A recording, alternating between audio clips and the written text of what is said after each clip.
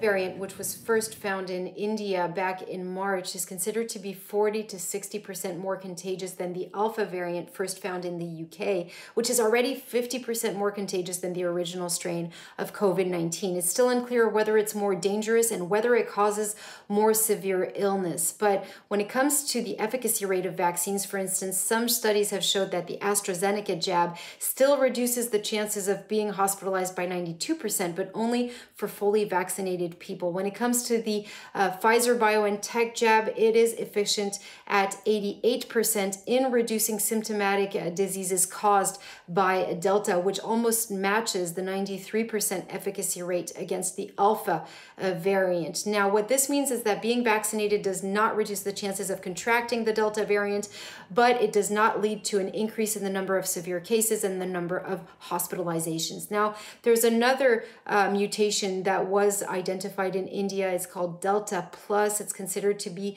as of now, but it still needs to be confirmed, a little bit more contagious and lethal. It is of concern because there's a mutation called uh, K417N that was also found in another variant, the Beta variant in South Africa. And we know that this one is indeed a little bit more resistant to vaccines.